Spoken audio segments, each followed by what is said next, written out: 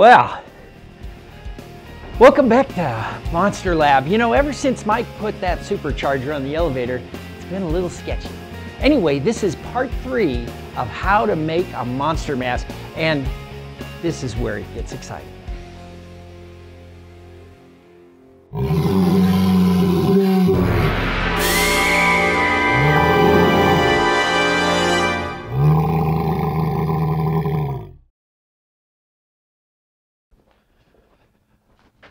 Okay, so I have painstakingly picked all the clay out of the mold, leaving a negative cavity of the original sculpture.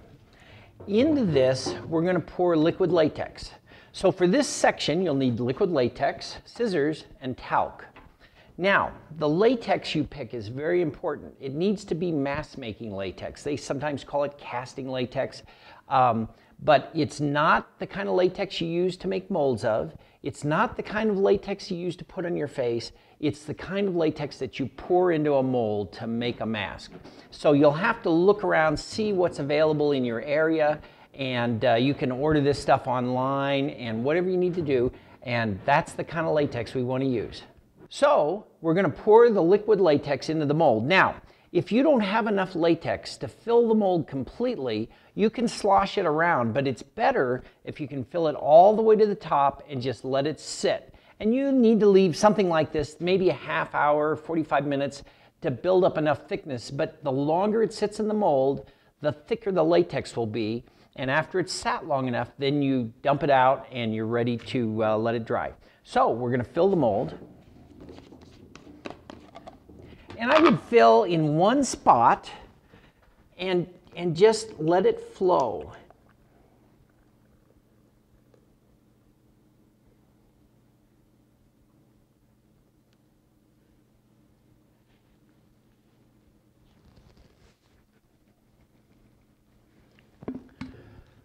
Okay, we'll leave that set for about 45 minutes and I'll be back.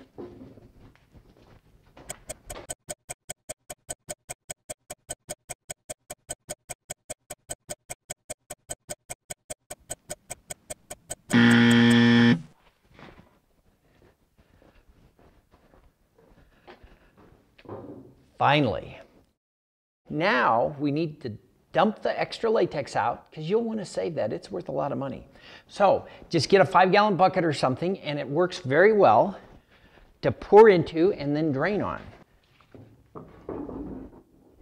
He's pouring the liquid latex out of the mold. Okay. Now let it sit like that upside down for maybe five, ten minutes so that it all drains out. And then we'll put it in front of a fan. Stand by. It's time. You can just put this out in open air and it will dry all by itself, but you can speed it up. Get a fan or a hair dryer on low. Never try to cook the latex. That's one of my pet peeves. People are always trying to cook latex. It's just a little bit of heat helps accelerate the drying process. So lean it up like that and turn the fan on.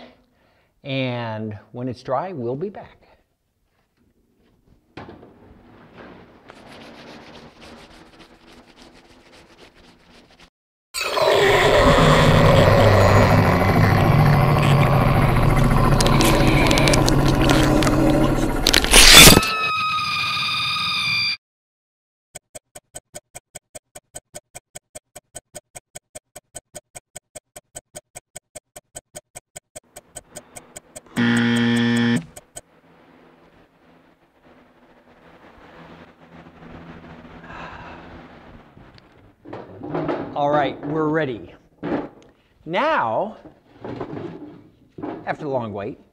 Ready to talc the mold.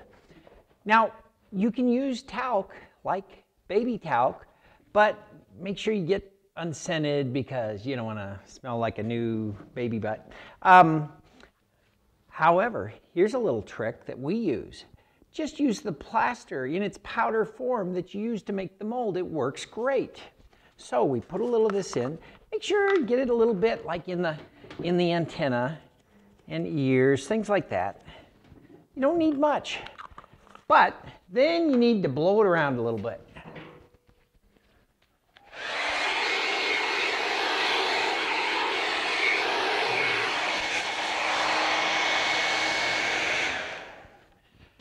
That just gets it spread around because the latex will stick to itself if you don't talc it before you pull it out.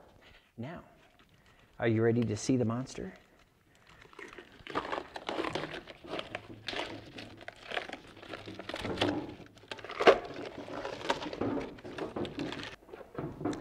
And there he is, your monster. Ready to be taken to your leader, which he's not alive yet, but he will be soon. You'll see. So, one more thing we have to do before we paint. That is cut the mask. Now, if your scissors have blood on them, it may mean something, doesn't mean much around here. Just cut around the edge first. And you can pull with a little bit of tension, and that'll help your scissors cut. Uh, some people use razor blades, that's fine. Um, we use it sometimes a lot on, on uh, foam pieces, but uh, on latex pieces like this, we usually just cut them. Now, here's a little trick. You fold the mask inside out, and you get things like the eyes, the ears, uh, the nose, the mouth, and we're gonna cut these from the inside of the mask, and it just makes for a cleaner cut and a lot easier. But be careful to not cut into your eye. We're going to cut right here. This is our eye hole above the eye.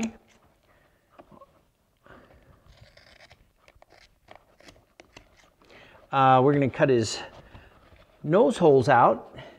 Just, you want to get as much ventilation as you can because, boy, it gets, it gets to be a drag if you can't breathe well and I don't know if it's very healthy if you can't breathe.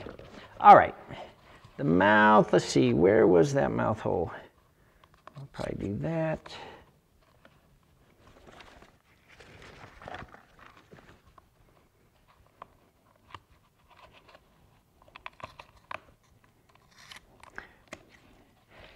All right, so we've got the ears, the nose, the eyes, and the mouth.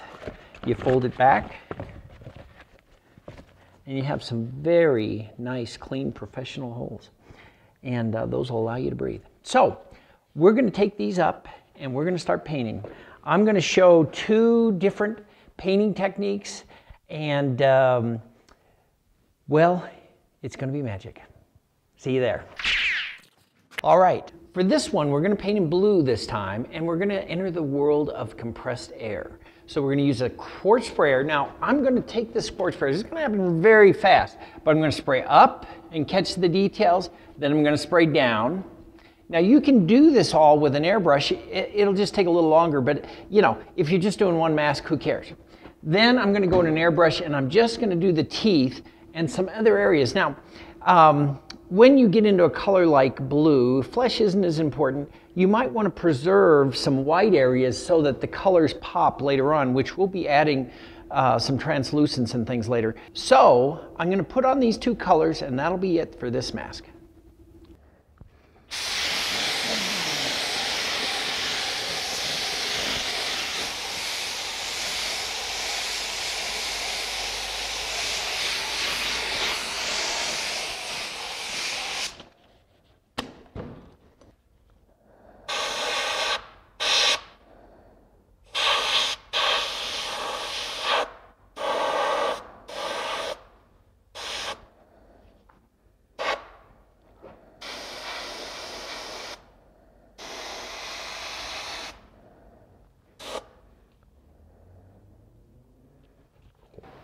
Okay, next we're going to do the blue alien. Now I'm going to start this with a blue rub out.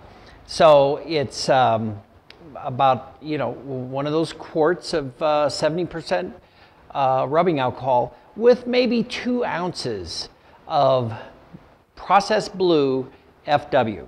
So we're going to get that on first.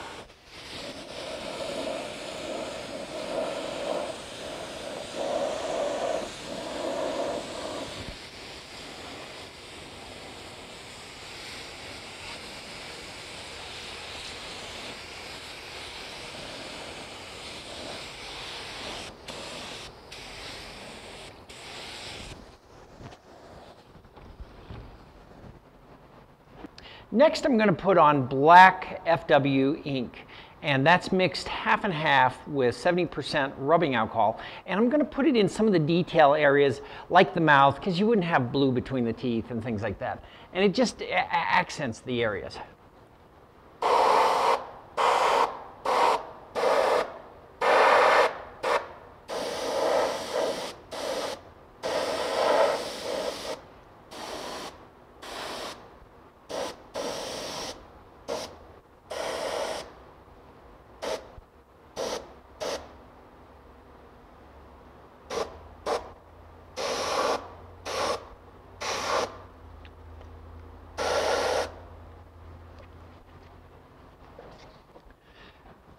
Now we're going to rub it out, and, um, and he'll start to come to life.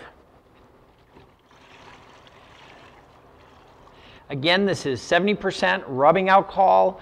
You squeeze the sponge thoroughly and start cleaning off the, uh, the stuff on the high parts.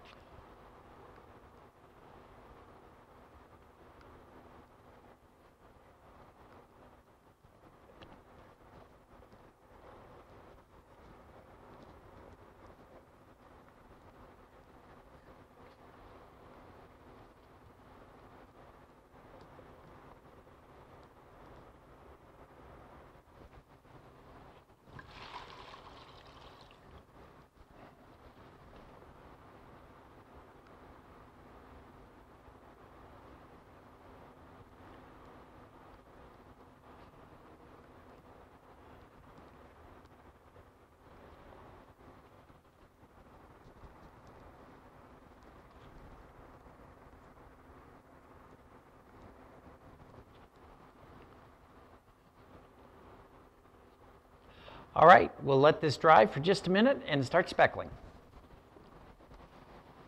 Okay, first we're going to start with some subtle gray speckling. Now the ink is very diluted. There's maybe a half an ounce per uh, quart, but you don't have to mix up a quart. You can just mix, mix a little dish and test it.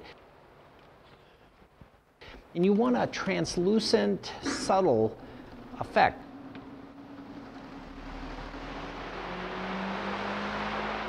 And now we're going to do white.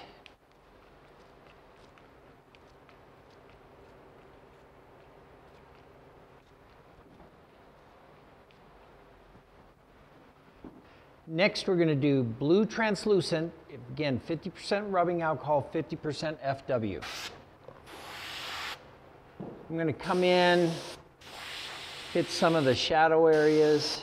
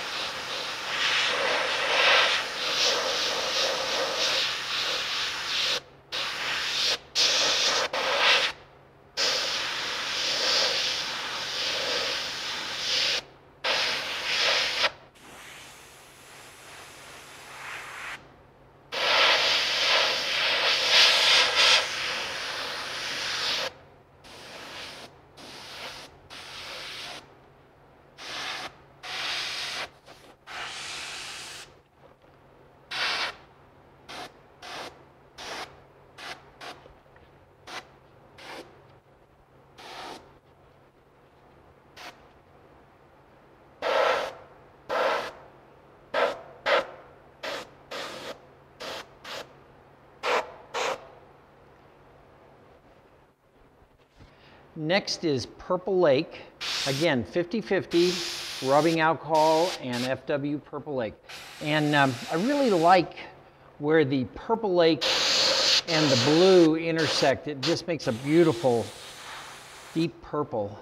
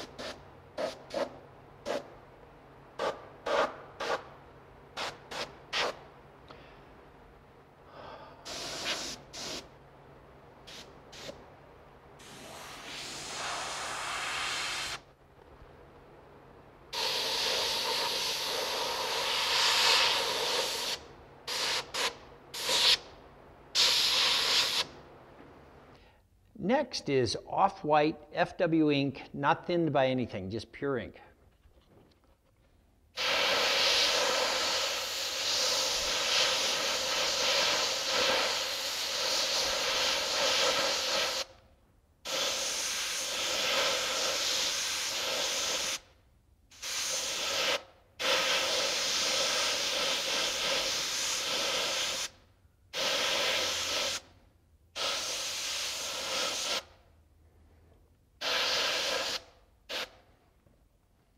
Now it's black FW ink.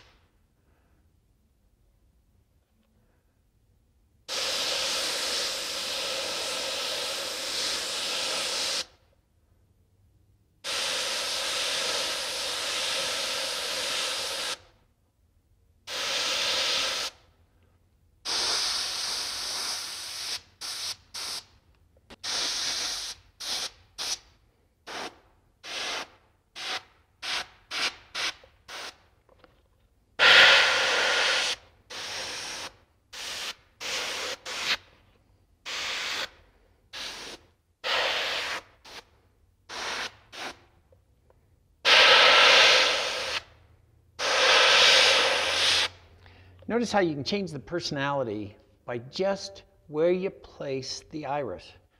So um, this one's a little more aggressive. All right.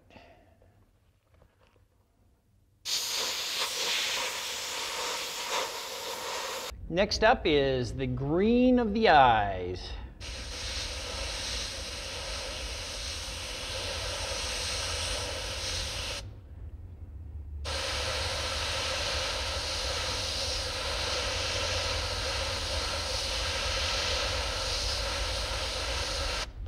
One of the advantages of airbrush is everything's more subtle and natural and blends well and it's quicker.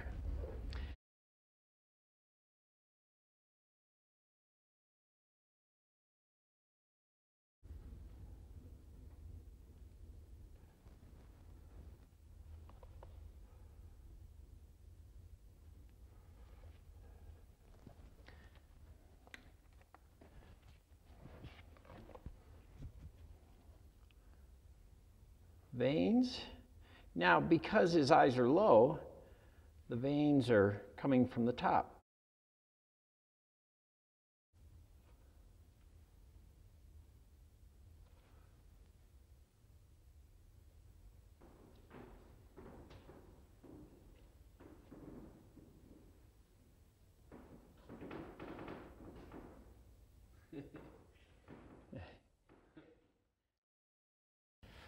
Next, we're going to do hair. Now, hair is something you can cut up a wig. You can go to beauty supply places and they have this really nice braid that comes in all sorts of colors. Um, and uh, I had some goat hair or yak hair, and so I'm going to use that. Now, this guy I'm going to put white hair on, and it's a little weird to put hair on an alien, but we're going to do it anyway. First step is to put on silicone. And we're going to build this up in rows, a few rows. Now I'm going to take this uh, painting stir stick and just squeeze that hair right into the silicone. And if you get that hair soaked all the way through, it is going to be tough. It will not come out. You'll lose, you always lose a little when you first um, comb it, but uh, yeah, it's really tough.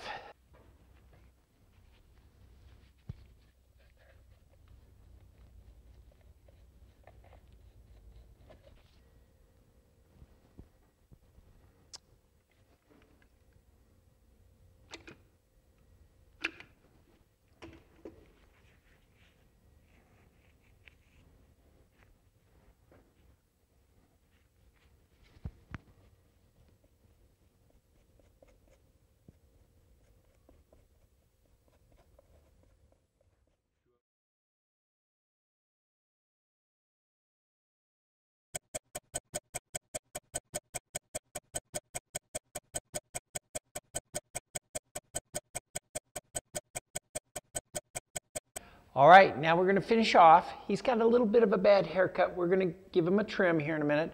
But um, we're going to gloss the teeth and the antennas and wounds a little bit with the uh, Liquitex.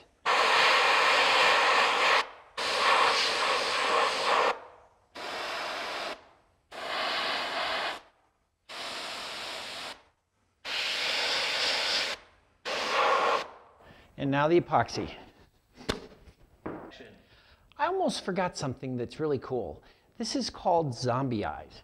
Now, once you finish the eye, then you can go and overhaze. Now this is uh, off-white FW ink with quite a bit of rubbing alcohol. Maybe it's a three to one or four to one ratio, but here's what that does.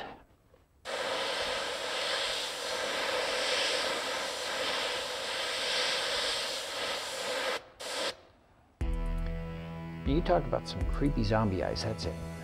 Now we them.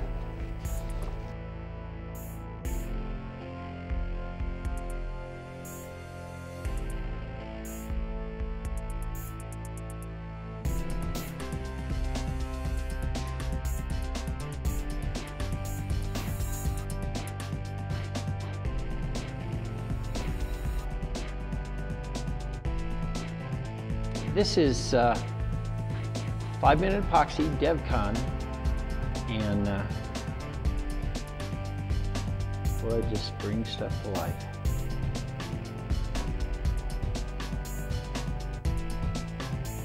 He's just short of a haircut of taking over the planet. Here we go. You know, it'd be hard to take over a planet